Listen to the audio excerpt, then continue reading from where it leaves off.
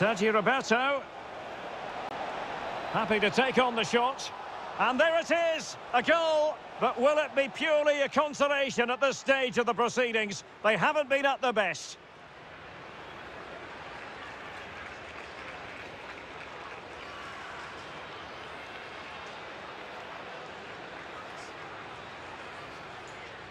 But will it be purely a consolation at this stage of the proceedings? They haven't been at their best.